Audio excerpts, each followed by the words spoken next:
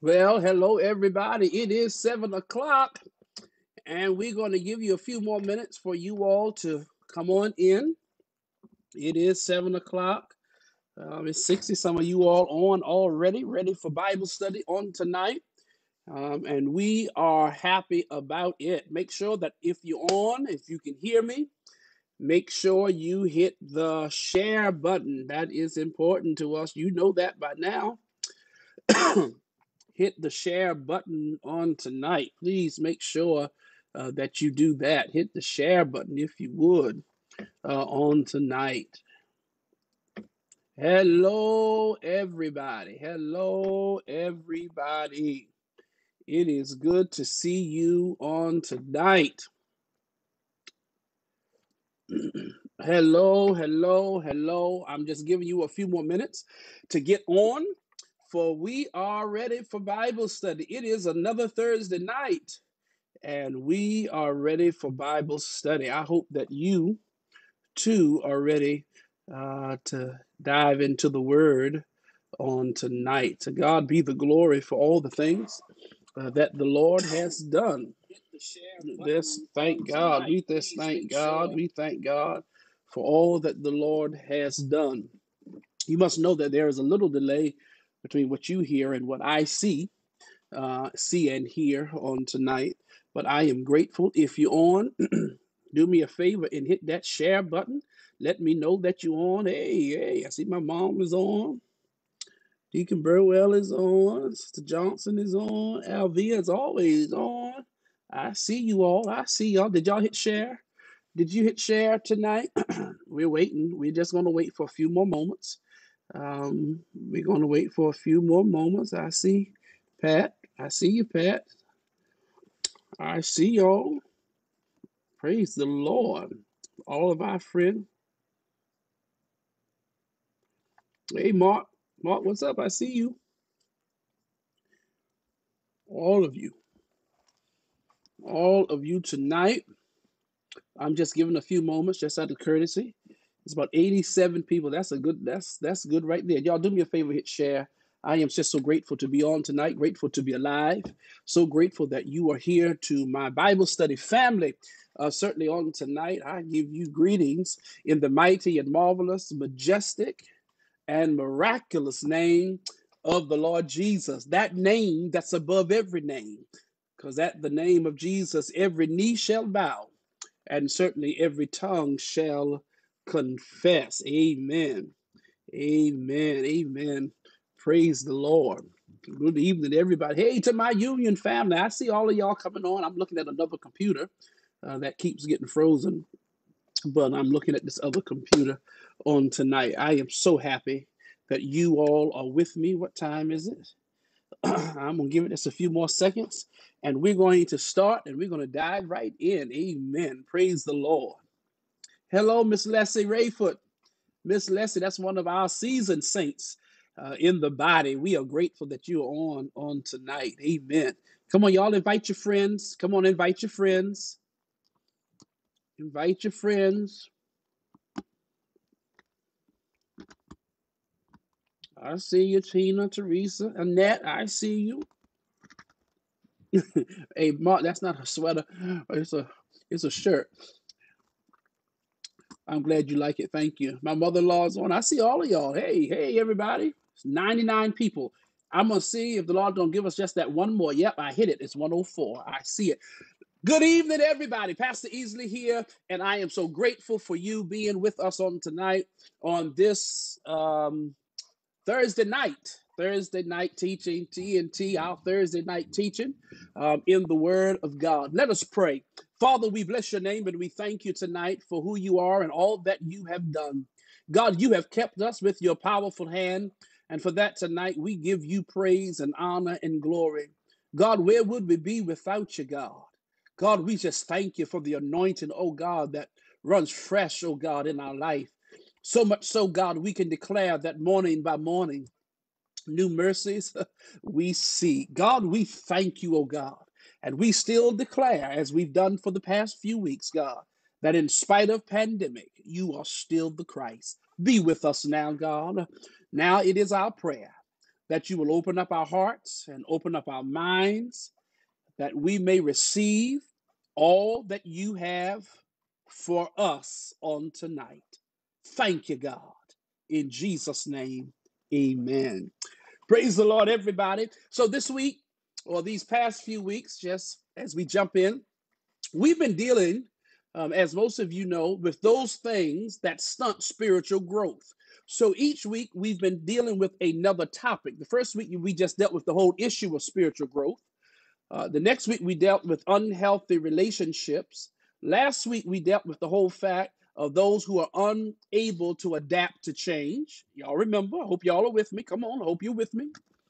And tonight, um, tonight we're dealing with a new topic, and that topic is overcoming unbelief. That's our topic for tonight is overcoming uh, unbelief. That's our topic for tonight so that you can uh, y'all can write that down or what have you tonight, but overcoming uh, unbelief.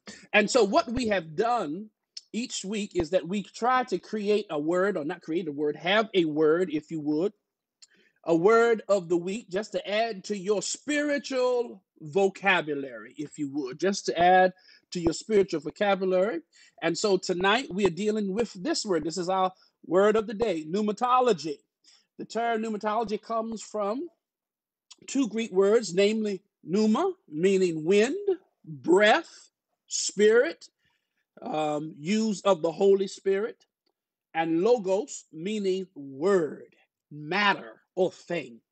It is used in Christian systematic theology. Pneumatology refers to the study of biblical doctrine, of the biblical doctrine of the Holy Spirit. Generally, this includes such topics as personality of the Spirit, the deity of the Spirit, and the work of the Spirit throughout Scripture. That's just your word for tonight, uh, just to add to your, um, just to add to your uh, spiritual vocabulary, if you would. That's your that's your word for tonight. Amen. Uh, pneumatology. But tonight uh, we are dealing with this whole issue tonight, if you would, of overcoming unbelief. Overcoming unbelief. That's our topic certainly for tonight. Uh, overcoming unbelief. And so uh, y'all can write that down because it's coming to us tonight um, from the gospel according uh, gospel according to Mark, Mark the ninth chapter, Mark the ninth chapter, uh, verses 14 through 19. Mark the ninth chapter, verses 14 through 19. I hope that you have your Bibles. It's not just enough for you to see it here, because I do want you to go back um, and read it and study it for yourself. It is a familiar passage of Scripture. Now, you must understand also that whenever you're doing a teaching, uh, there are many angles in which you can uh, teach a text and so many uh, subject matters that you can pull from the text. And so we don't necessarily, uh, we, we're not teaching from all aspects of the text, but we have our focus area. And our focus area uh, for tonight, as I've already shared uh, with you before, is overcoming, if you would, unbelief. And so let us get to our text, Mark 9 uh, 14 through 29 and here and here it is and you uh, feel free to read along with me. When they came to the other disciples they saw a large crowd around them and the teachers of the law arguing with them. As soon as the people saw jesus they were overwhelmed with wonder and ran to greet him. What are you arguing with them about? he asked. A man in the crowd answered teacher i brought you my son who is possessed by a spirit that has robbed him of speech. Whenever it seizes him, it throws him to the ground. He foams at the mouth, gnashes his teeth, and becomes rigid. I asked your disciples to drive out the spirit, but they could not. You unbelieving generation, Jesus replied, How long shall I stay with you? How long shall I put up with you? Bring the boy to me. So they brought him. When the spirit saw Jesus, it immediately threw the boy into convulsion, into a convulsion. He fell to the ground, rolled around, foamed at the mouth. Jesus asked the boy's father, How long has he been like this? From childhood, he answered. It has often thrown him into the fire or water to kill him. But if you can do anything, take pity on us and help us. If you can, said Jesus, everything is possible for one who believes. Immediately, the boy's father exclaimed, I do believe. That's where we're hanging out tonight. This is it. I do believe. Help me overcome my unbelief. I like that. When Jesus saw that a crowd was running to the scene, he rebuked the impure spirit. You deaf and mute spirit, he said, I command you to come out of him and never enter him again. Verse 26 The spirit shrieked, convulsed him violently, and came out. The boy looked so much like a corpse that many said, He's dead. But Jesus took him by the hand, thank you, God, lifted him to his feet, and he stood up. After Jesus had gone indoors, the, his disciples asked him privately, Why couldn't we drive? Why couldn't we drive it out? He replied, This kind come out only by prayer. The word of God for the people of God certainly thanks be uh, unto God. Thanks be uh, unto God on tonight. That comes to us uh, from the gospel according to Mark. There, for those of you all, uh, we welcome those of you who are just uh, coming on on tonight. We are we are grateful for certainly we are grateful for for your presence on tonight. And so tonight this is this is our this is our topic for tonight overcoming unbelief as we're dealing with now particularly we want to pay particular attention to the Father, to Jesus, to the Father, and to the boy, and to the disciples. These are the characters. We're not necessarily talking about the crowd tonight. Uh, but tonight we're talking about Jesus, the role of Christ here in this text. We're dealing with the role of the Father. We're dealing with the role of the stark contrast between the Father and the disciples. And pay particular attention that I said that tonight. We're paying attention between the contrast, if you would, between the Father and uh, the disciples. All right.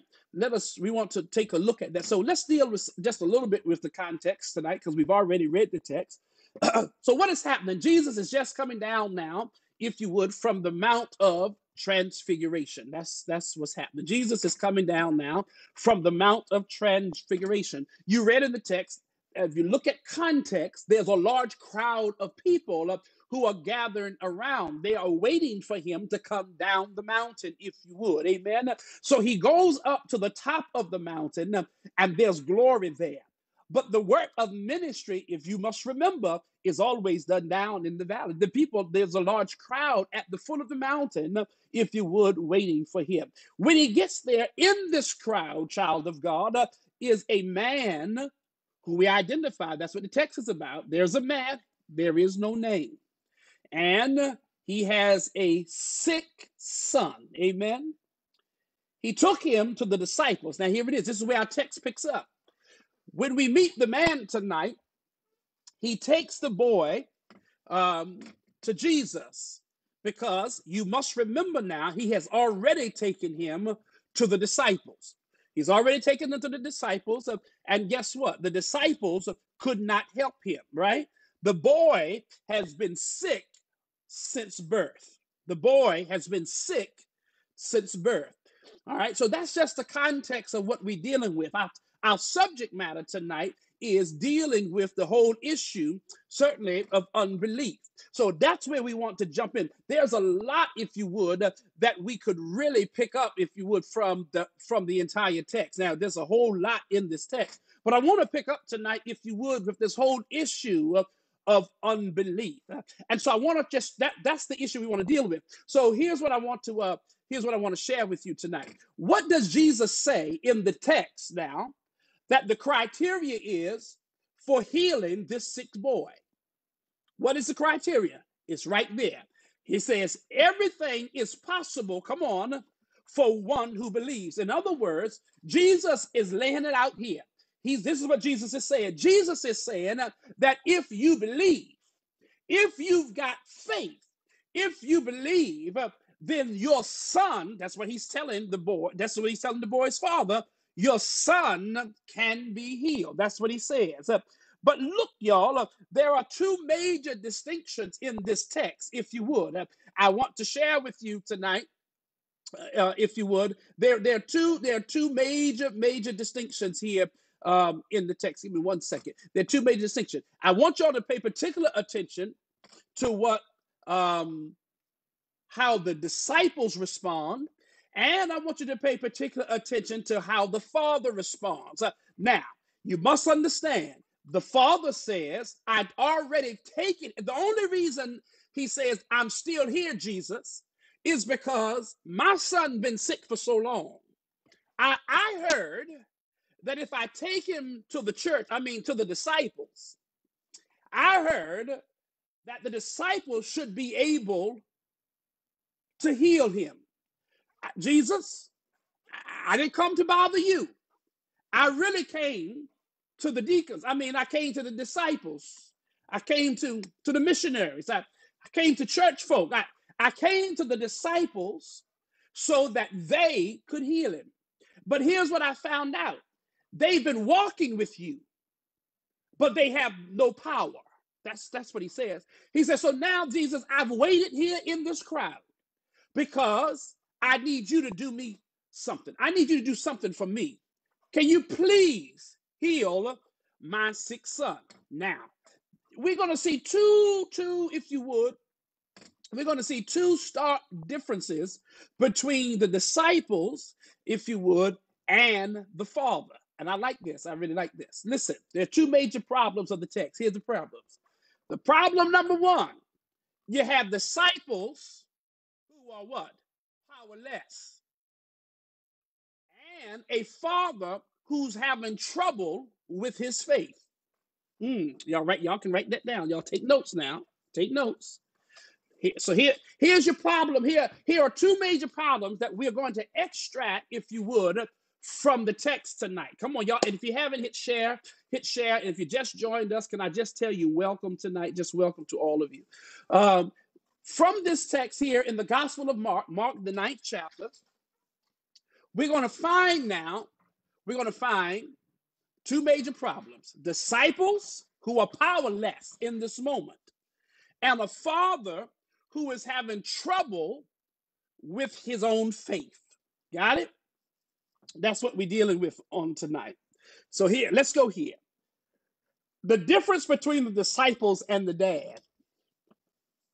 The disciples did not recognize at first what their problem was. Mm. And the dad recognized his own limitations. I want y'all to put this in your mind now. So when you begin to decipher between the disciples and the dad, the disciples who have been walking with Christ, who've been had a front row seat to his ministry, had no power. And they did not recognize in this moment how powerless they really were. But then here comes a dad who don't go to the union every Sunday. Matter of fact, goes to no church every Sunday. Who who believes, who, you know, he believes that there's a God. He he, he believes some, but recognizes that he has some limitations with his faith. My God. So you got disciples who ain't got no prop, no no power, who don't even recognize that they've got a problem, and you got a dad who recognizes from the beginning his own sense of limitation. So let's go here. They got different perspectives. The disciples have witnessed him. Have, they, they have witnessed the power. They've seen what Jesus can do. And they still, in this moment, child of God, got a faith problem. Like this. In, in this moment, they still got what? A faith problem. I like the dad. Why? Because the dad did not try to pretend. He was authentically himself and was able to recognize his own shortcomings. I like this, y'all. I, I really like this, y'all. I like this. Now, listen, the disciples, they've been with him, they've seen what Jesus can do. They've had a front row seat to miracle after miracle after miracle. But in the moment where someone who's living in a condition that needs to be changed, needed some power from the church, because that's what they represent the church. The disciples were unable to help them. Mm. Uh, but the dad, the dad understood in this moment what? He understood, listen, I ain't come to pretend like I have no whole lot of faith. That's what the dad is saying. I ain't coming to pretend like I'm all holier than thou. He- He's authentically who he is, uh, and he understands his own shortcomings, and he also understands in this moment of his own lack of faith. I like that, y'all. Why? Because if you look at if you look at the text as it says there in verse 24, immediately, this what listen, the boy's father exclaimed this. I believe, come on, that's where we are. Help me overcome my unbelief. Mm, that's what he says. So immediately, that's verse 24. We're going to back up a little bit and come back. But verse 24 says, immediately the boy's father exclaimed, I do believe help me overcome my unbelief. I like that, y'all. I, I really, I really like that. I, I really like that a lot.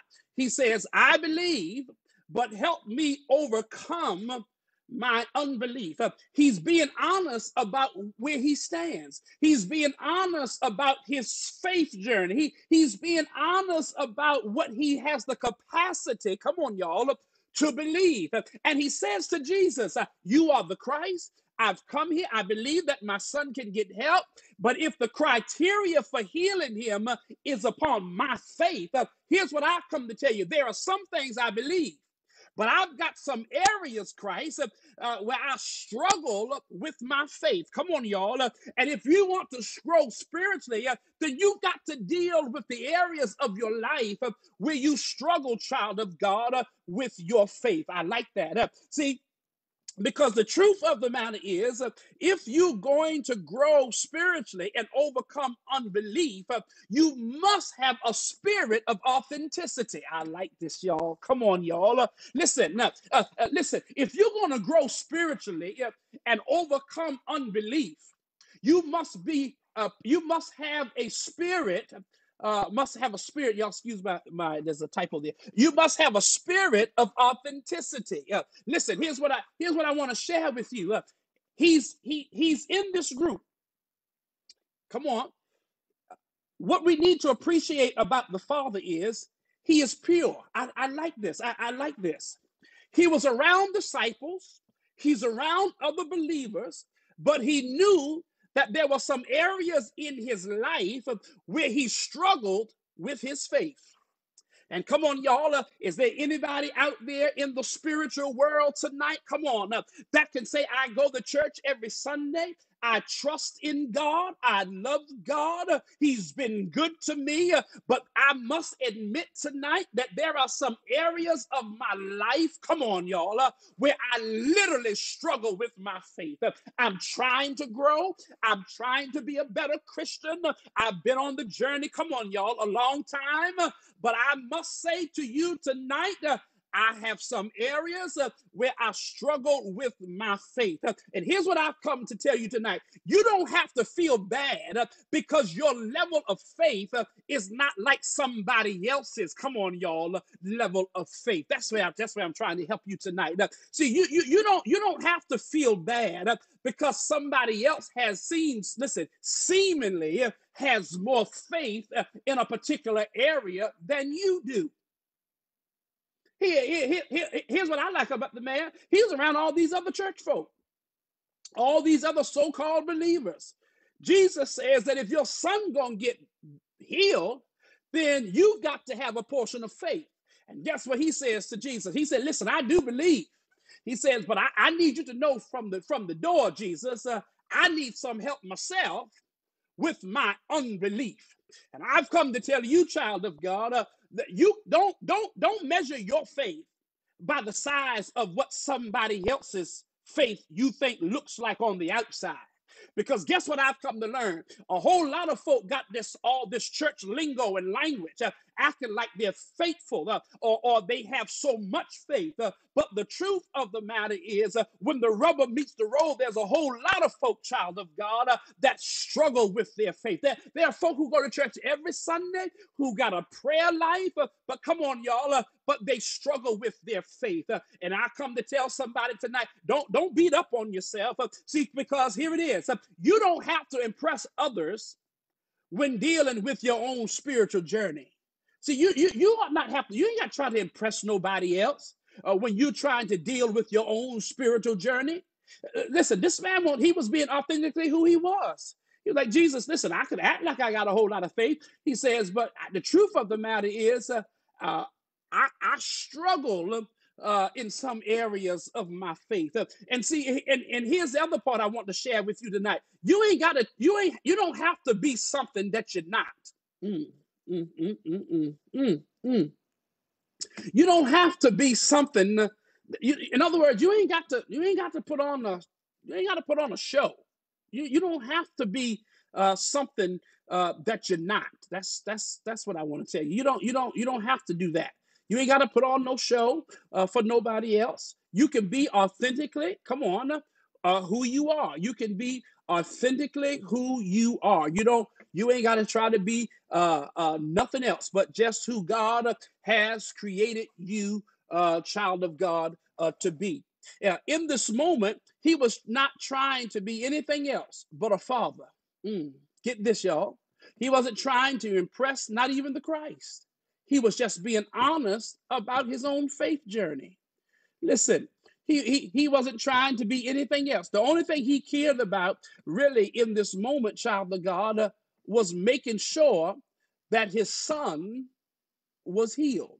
In face of disciples, in face of the Christ, he is struggling with his faith and he knows it. But guess what? He didn't try to hide it. And guess what? All he says, listen, I believe, but I need you, Jesus, to help me even in this moment with my unbelief. Really, he wants God, all he wants is for God to heal, heal. Listen, God and what God desires from us is for us to be be authentically who we are. That's what God wants from us. See, God don't want the church you. He don't want the work you. He don't want the public persona you. All God is looking for is the authentic you.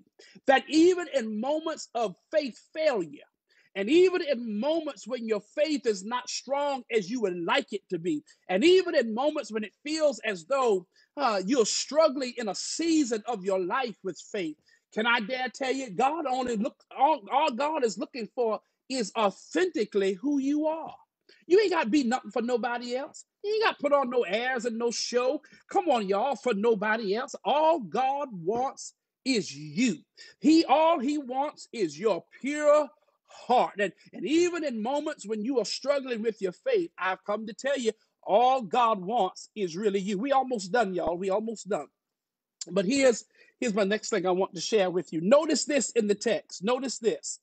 Jesus, if this is an issue of faith, and if the issue of the text as we deal with tonight is really the lack of faith that the disciples had, or the lack of faith that the Father had, get this.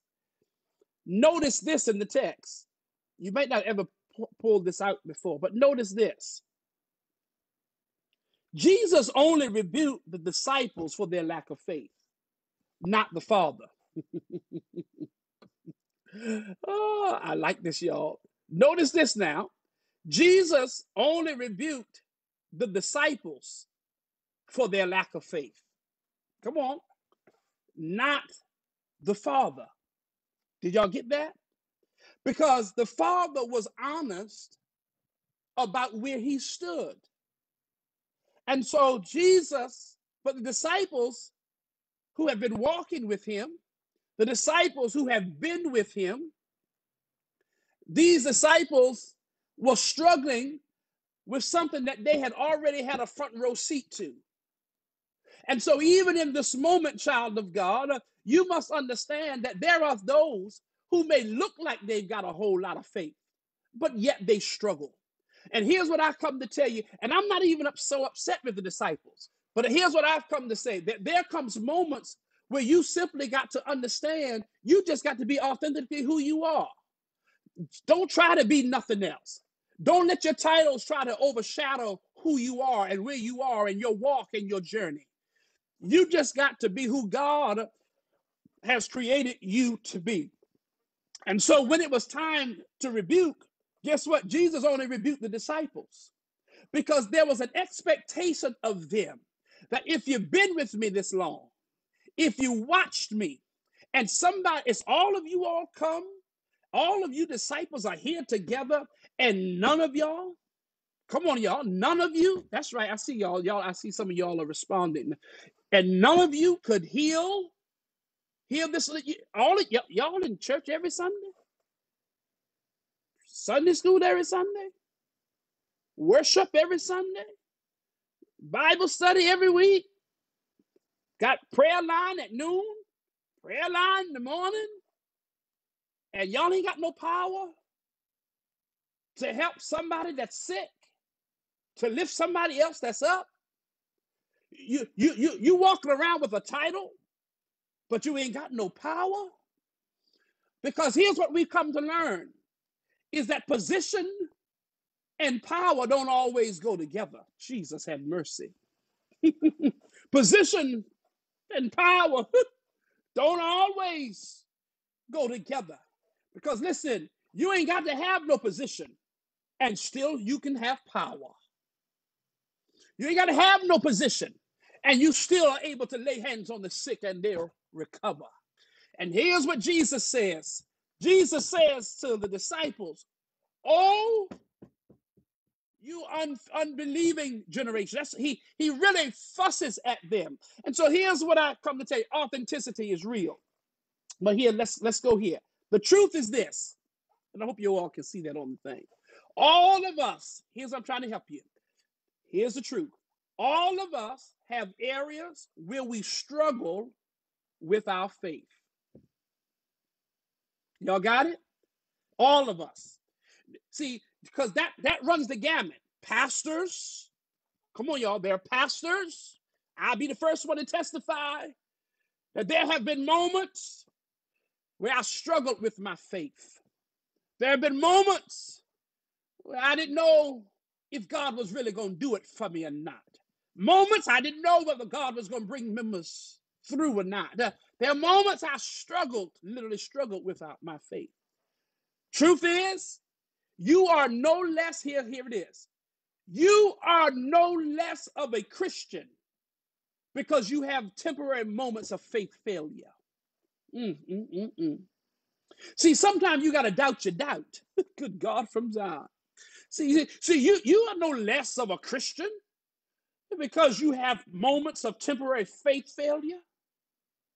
You, you, you are no less of a believer because there are moments where you've got fractured faith. Here, truth is number three, God uses our moments of doubt to reinforce and reassure us, reassure us on the journey. See, God uses our moments where we are fractured in our faith to blow our mind. Jesus, have mercy. Listen, if you ever want your mind blown, how about those moments when you didn't think God was going to come through? How about those moments when you didn't know God was going to open the door? How about those moments when you didn't believe God was going to make a way? And God uses that very moment to blow your mind. The very thing you thought that God was not able to do or was not willing to do or, or you thought he could not do. That's the very thing that God pulls pulls a miracle out turns your life around uh, and blows your mind. There are moments, child of God, uh, that even when you've got fractured faith, that God will use your moments of doubt and your moments of fractured faith to do what? To create miracles in your life, uh, to blow your mind. Come on, y'all. And so that's why you got to be authentic.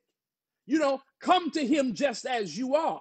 Be like, I like, listen, the Father is the one that needs to be celebrated in the text. I, I know there's disciples here, and I know there's a crowd of believers here, but I like this Father. You know why? Because he was authentically who he was. But here's the second thing, and it's the last thing, was acknowledgement. Acknowledgement. Y'all ought to write that down. Acknowledgement. I like this, y'all. Acknowledgement. Acknowledgement. You have to acknowledge the fact that there are moments and seasons where you are struggling with your faith. That's what he did. Listen, y'all, that's all he did. That's, come on, that's all he did. And what did he say? I believe, but help my unbelief. Jesus had already told him that all things are possible if you believe. And what did he say? He said, I do believe. He said, I don't, in other words, what he says is, Lord, I don't know, uh, Jesus, if um, I got enough faith for this. So I might as well just come on and acknowledge the fact um, that I'm struggling here. I, Jesus, I, I just need to acknowledge the fact that um, I may not, I may not be like so and so. I, I need to, and here's what I'm here's what I'm trying to tell you: acknowledge your shortcomings. Acknowledge, if you're going to grow spiritually, acknowledge the fact that you are have some growing to do. Acknowledge the fact that you've got to work on your faith. Acknowledge the fact that, that you're still growing. Acknowledge the fact that God is not through with you yet. Acknowledge the fact that, that you are a work in progress. Jesus have mercy. Listen, don't don't don't make don't let nobody make you feel bad. Because you can't pray like others and you don't have the faith like somebody else and, and you're struggling and, and you you stressed out because you don't know if god's going through it. Acknowledge the fact child of god that you struggle at moments with your faith. I don't care who you are.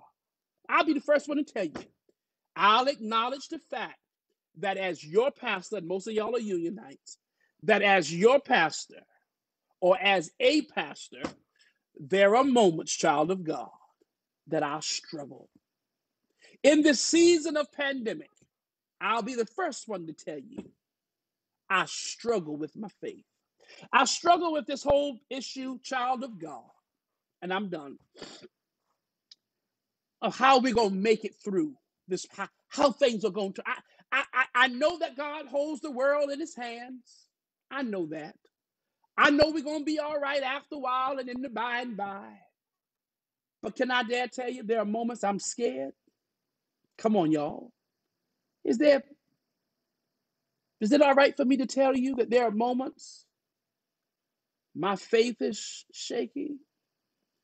Is it all right for me to tell you that I got to go back to work for the village next week and I'm a person of faith, but I'm scared. Is it all right for me to tell you that there have been moments that there have been those who are on their sick bed, and I don't know if I had enough faith in that moment to believe that they'll recover? I struggled with my faith.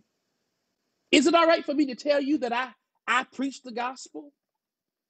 But there are moments I have to acknowledge to the Lord that God, I'm struggling. And I hope that there are those of you on on this feed tonight. It's about 170 some of y'all on here. I hope tonight that that you will lift up your head and that when you go down on your knees and pray, that you can tell God, God, there's some things I just got to put in your hand because this is a season where I struggle with my faith. It's nothing wrong with it. Because in order for you to grow spiritually, you got to be real. You see, you you got to be real with yourself, and you got to be real with God. God, God already knows anyway. And sometimes we try to act like we like we trying to hide something from Him. But hello, knock knock, hello. Do you know you can't hide nothing from God? Do, do, do you realize that there there is nothing that that you can hide from him? Do you know that God knows everything? That God sees everything? God knows your level of faith. Can I give you some good news from the text? Here's what I like about the text. Y'all ready for this? That a father who had fractured faith had his prayer answered. Jesus have mercy. A father who comes to Jesus with fractured faith got his prayer answered. His son was healed. Jesus have mercy. What am I trying to tell you? That even with fractured faith, God can still do some amazing things in your life when you are real and acknowledge the fact that you struggle in some areas. What am I trying to tell you? That God is able to do exceedingly abundantly above what you can even ask or think. uh, that God will go beyond your fractured faith uh, and make you a believer that God still holds the whole world in his hands. Jesus have mercy. And so here's what I'm trying to tell you trust God. And even when your moments where your faith is fractured, still go to God in prayer and acknowledge the fact that you're struggling. I enjoyed this tonight. I'm done. That's right. I see I see some of your some of your comments. We're human. Have mercy, Lord. Yes, Lord. I see all of y'all up who are on here. I see your I see some of the things that you're writing. And here's what I want to share with you tonight. The word has to take take residence in your spirit. And the word has to be applicable to your very life. And so tonight I share with you tonight. I pray that God will do some amazing things. That even in spite of even in spite of all the things that you're dealing with, I pray that God would do some amazing things um, in your life. There are all of us have moments of fractured faith, but God is able. Just be real about it. Don't try to be, compete with nobody else. Don't try to be like nobody else. Just know God sees your heart and God knows your desires. So tonight, I'm grateful for all of you who are on the line with me tonight. So good to see all. I miss y'all. I miss y'all. Listen, can I just tell y'all before you go? I miss y'all. I can I say it one more time? I miss you. I I really do. I really miss y'all. Um, and I hope that we'll be able to see each other real soon. I do want to say to you uh, tonight, we are grateful uh, for all of you for your participation in worship and in Bible study. And many of you all are, are sharing with friends and family members who are on the line. So, all of you who are guests tonight, um, I say hello to all of you and welcome and thank you all for being here. Won't He do it? Yes, He will. Won't He will? Look, won't He will? Uh, I am just so grateful to you all um, being on here, uh, certainly on tonight. Uh, I just enjoyed this this this Bible study uh, Bible study time on tonight. Remember, uh, as before we leave, can I say this to you? Remember, we have the uh, booming and zooming um, Sunday school, 8:45 every Sunday morning. The zooming and booming Bible uh, of um, Sunday school, and you can reach them on Zoom, and you can go on all of our social media outlets, and all of our information is there.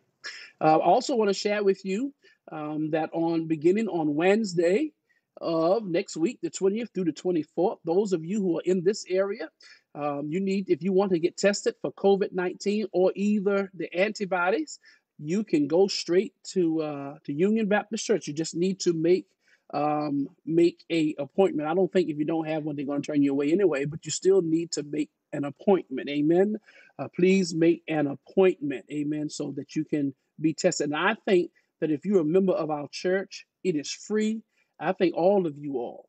Um, you don't have to rush down there the first day. It's going to be there all the way through Sunday. Um, I think you should come um, and be. Thank you, Maurice. Great word tonight. I see it. Thank y'all. Thank you. Thank you. Thank you. Thank you. I see you, Jada, Lonnie. I see all of y'all on here tonight. So many I can't name all of you, but I do want to say thank you so much uh, for being on here. Letha, I see you all. Thank you. We want to also take a moment to thank God for the food pantry, which will be open from 11 to 12:30 on Friday. Amen. Uh, 11 to 12:30 on Friday. Amen. Um, and so we ask that uh, we first of all we want to thank the helpers who have been helping uh, in the food pantry. We want to thank all of you. We want to thank all of you, Amen, who've been helping uh, certainly in the food pantry, Amen. Thank God for all of you. They'll be open again this Friday from 11 to 12:30. Amen. Um, and then we want you to know we'll be together virtually at um, Sunday morning. We'll be together Sunday morning, 10 o'clock. Amen. 10 o'clock. Amen. 10 o'clock. Um, so make sure that you uh, make sure that you are with us and please continue uh, to tell somebody else in regards what is going on at the church. Glad y'all enjoyed Bible study on tonight. I'm glad that you enjoyed uh, Bible study on tonight. Good to see all of you. Good to see um, all of you on tonight. And can I, before we leave, I always want to do this. Um, just want to tell you. Um, I want to tell you that we thank you for your giving. Giving, giving, it has been amazing, and I thank you. If you haven't given, uh, you can also do that online. And even if you want to give a, a, a, a offering uh, for Bible study, a Bible study offering, you can always do that. Cash App is dollar sign UBC EXP.